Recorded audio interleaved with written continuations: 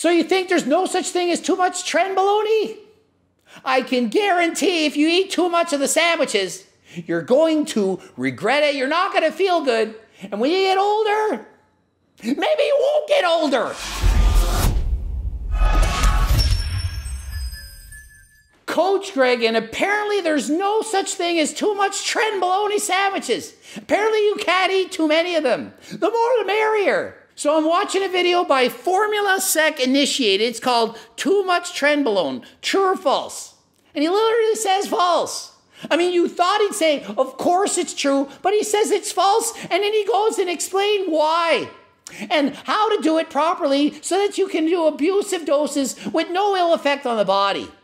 I'm going to watch the video and I'm going to explain just how moronic this really is and teach you don't listen to this guy. Are you kidding me? Can't believe he made this video and it's serious. It's not April Fool's. So let's watch the video and see just what you shouldn't do. It's literally one of the best compounds we can take, or at least I can take, that gives me the best results in terms of aesthetics and image. So I'm not debating him here. The trenbolone sandwiches, they are freaking amazing. They can transform your physique. Put on tons of muscle. It's very, very strong. You're looking at Cotter bulk, it can put on a ton of muscle. But is there in fact a point where you take too much? A lot of guys have a weird fear about this specific compound. Doesn't matter if it's um, the acetate or enanthate. It's not weird. It's justified. How many of you have actually taken Tren? 10 times or more. How many of you felt like garbage on Tren? It is horrible, horror awful.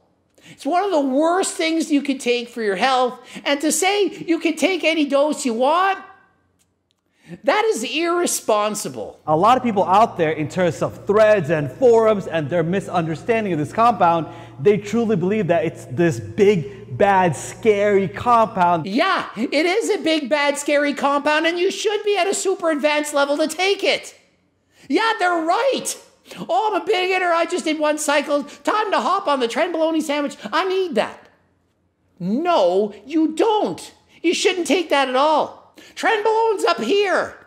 You don't take it unless you need it, unless you've gone through the different phases with weaker compounds and you can't make any gains without it.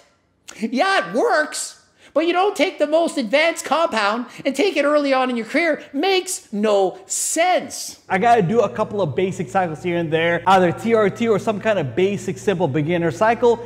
Yes. Just because you've used HRT or done a beginner cycle doesn't mean you're ready for the trenbolone sandwich. Because here's the thing in terms of the bad sides, what's the worst thing that could really happen? You could get an infection, you could die, you could get a heart attack, a stroke. There's a lot of horrible things that can happen.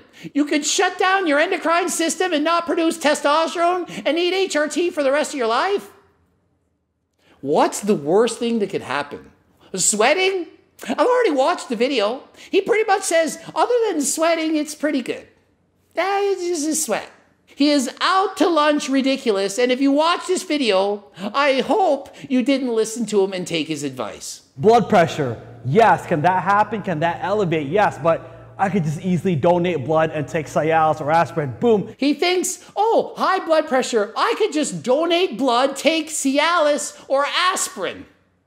Really, it's that simple. Blood pressure, oh, let's not panic about that. Let's not really worry about blood pressure, one of the leading causes of cardiovascular disease. Let's just take some Cialis, uh, aspirin, donate blood.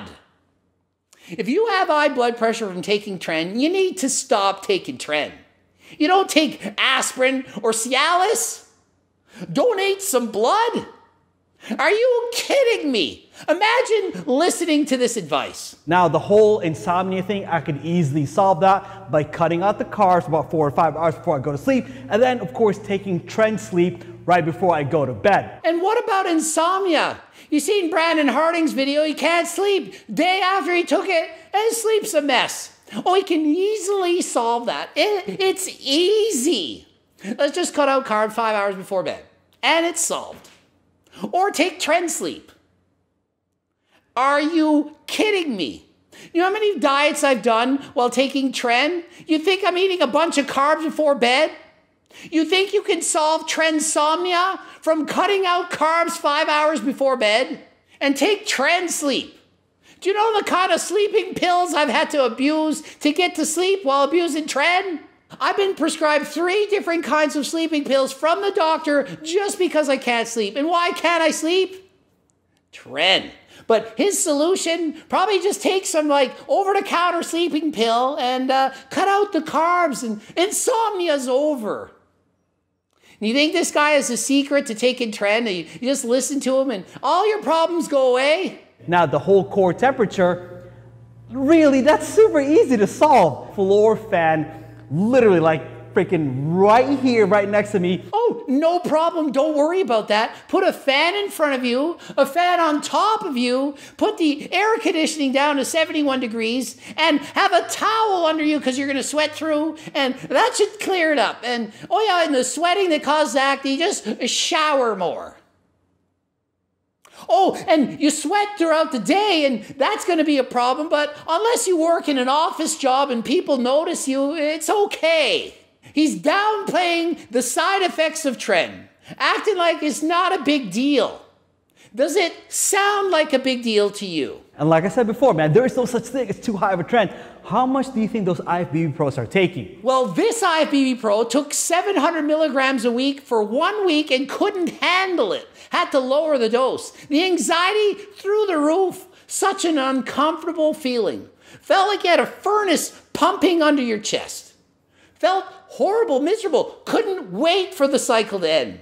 You think you're going to be on PEDs, you're going to feel amazing and feel great and build up the muscle and have an incredible body. Imagine taking a dose so high that you can't wait for 10. Can't wait for 10. Does that sound fun? If it's fun, do you want to end or do you want to keep going? Oh, I can't wait to get the sexy time over it. Can't wait for 10. Get it out of the way. If it's fun, you want it to last as long as you can. Think about it. So I had to lower the dose to 500, which was the maximum amount I could tolerate, that I could even handle. Wasn't fun, livable, barely. I could barely handle it. So you think there's no such thing as too much trenbolone? I can guarantee if you eat too much of the sandwiches, you're going to regret it. You're not going to feel good. And when you get older, maybe you won't get older. That is the worst case scenario. The highest I've ever taken Tren is within a gram and a half to two grams a week. That's two to three times more than the maximum I ever took for one week. Think about it. Does that sound safe? Does that sound healthy? If it affected me this much, and I'm going to argue with you that I can actually handle it quite a bit. I get my blood work back, taking these crazy doses, and I'm actually fairly healthy.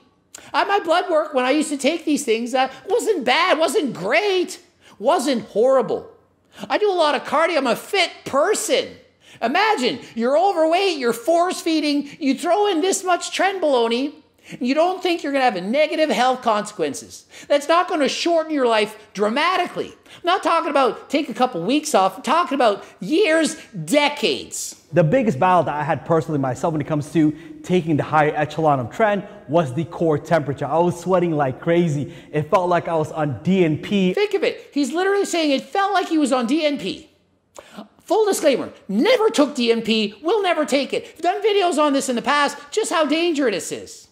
Do you know what DNP is? Do you know about that dangerous fat burner? About how it increases your core temperature? He's comparing this to that. Got really awkward, okay, when um, I would be in certain social settings and I didn't have a fan on me. I didn't have a setting or. Yeah, if I never had a fan on me and I was around other people, it was embarrassing. But other than that, it's, it's great. You know, I just have to donate blood and take medication, cut out my carbs five hours before, take the Tren sleep and uh, sleep on a towel and have a fan here, fan there, and uh, sweating all day. No problem though. No, nothing at all. But yet again, that's a small price I'm willing to pay in order for me to use the best cutting agent ever. And I'm looking at him in this video, and he's not even as lean as Coach Greg. He's literally abusing this drug, taking years off his life, and he's not shredded. The best cutting drug, he's not shredded. using it the craziest, highest doses, and he's done all these drugs, DNP, T3, all of it. Not even as lean as Coach Greg, who's on 120 milligrams of test a week. What's the difference? I have a cookbook. Rather than abusing all these drugs to be lean, why don't you eat in a calorie deficit and then main gain? Why don't you eat delicious meals that keep you full and satisfied and taste amazing? You don't have to abuse cutting drugs to be lean. You don't. You don't. And if you're not sleeping and you have insomnia and you feel like shit all the time, do you really think that Tren is working? Do you really think that the higher the dose, the better? No. If a little is good and more is great, a lot doesn't mean greater. There's a law of diminishing returns. It gets better for a while and then eventually it gets worse. If you start doing 2,000 milligrams a week, gonna be worse. You're not gonna build more muscle, you're gonna build less. Because you're feeling so shitty, you can't train, can't sleep, feel like garbage. When you abuse things, they don't work anymore. Too much of a good thing. And this isn't a good thing, it's a bad thing. Too much of a bad thing is a lot worse. Is there such thing as too high of a Tren in a certain work setting? Of course. If I work in a certain office environment, I would be sweating like crazy. So he wants to clarify you can, in fact, take too much of the Tren bologna sandwich if you work in an office setting because you, are going to sweat. But if you're not in office sweating, uh, sky's the limit. The beauty about Tren, too, at least from my perspective, there's no such thing as a, a diminishing return. There is diminishing returns. If you take too much, the law of diminishing returns applies. It applies to everything. Going from three to 600 milligrams of test a week, you can double your gains. Go with that. Oh, I can go with that. It's not bad. But going from 600 to 12, you're not going to double your gains. Going from 12 to 2400, you really think you're going to have increased gains? Eventually it gets worse. Let's exaggerate 2400 to 4800 to 9600. You think you can take 10 grams of test a week and get more gains? Eventually it just kills you. You can't handle it. The higher I go, the more benefits I got out of it but I just have to remember the tolerance level. Take as much as you can, as long as you can sleep. And as long as you can handle the sweating and you got a fan, just take more. The more the merrier. No. If you were going to take this, which you shouldn't, and I am not a doctor, I'm not telling you to take Tren. Have you watched this video? Does it sound like I'm promoting its use? If you do take it, the less you take, the better. Take the lowest dose possible the lowest dose that makes you happy. And if you feel any side effects, it's too much. Once you feel you might have some insomnia, once you feel a little shitty, once you start sweating, it's too much. Lower the dose. Do so only with the advice of your doctor. Don't take Tren and don't listen to this guy. Does he make sense? It's the only drug that you take the more the better. Every other drug that I've taken, the more doesn't help. But with Tren, the more the better. No. With every drug, more is going to feel better for a little bit, and then you take too much, it's bad. Every drug, including rec drugs. Check your rec drugs, you take too much, it's called an OD. You want an OD? Is that a good thing? The more you can handle, the better. Just take all of it. But again, there's no bad consequences as long as I'm actually doing the right things, what I need to do. I'm telling you, you do not know what those bad consequences actually are. You don't know what it's doing to your heart. You don't know what it's doing to your health. You don't know. You might have just shortened your life by 10 years, even though your blood work says, oh, it's okay. It is not okay. This is spews for views telling people that as long as they do the safety protocols, it's safe to abuse Tren in high doses. It is not. It's not safe. Think about it. Is this actually good quality scientific information? Or is this spews for views telling people what they want to hear, not what they need to hear? They want to hear they can take a lot of Tren and do it safely, as long as they're doing safety protocols. What they need to hear is if you abuse Tren, no matter what you do, it's bad for you. You see what I do? This is Coach Greg's channel. This is what I do, calling out the bullshit. You know, summer coming up right now, it's pretty much one of the best, if not the compound that I need to take if I am looking to shred down, look good, single digit body fat. So he's saying it's time to cut up. Summer's around the corner. I need Tren because it's so much easier. And can you do it? Well, maybe you could do it. I don't know, but I need it. He doesn't need my cookbook, is what he needs. Doesn't need Tren, needs a calorie deficit. It's literally that easy. You don't need Tren to get shredded. Yeah, it's gonna help you have bigger muscles. Of course it is. So are other PEDs. But you don't need tren, in high doses, to get a lean physique for summer. You could literally do it natural. Never seen anyone natural with a six pack on the beach before? Of course, with tren, you're going to have a bigger body with the six pack, but you still have to put in the work, you still have to diet, be in a deficit. I would argue that my cookbook, without question, is going to help you more to get your lean physique for summer than a trenbolone sandwich. Because guess what? Even with the trenbolone sandwich, you still need to be in a deficit. And if you don't eat in a deficit, you're not going to be shredded. But with the cookbook giving you the low calorie alternatives, going to help you be in a deficit and be full. Makes sense? Hopefully that clears it up. Ending it here. GregDoucette.com for coaching. Greg IB Pro. Bloops. Watch one of those. Subscribe. Click the bell button. Buy one of the cookbooks, the training book, the coaching plan. Follow me on the gram, the talk. And until next time, I am out. Is that a song? DNP. No, TNT. TNT. Yeah, that's the song. It was close.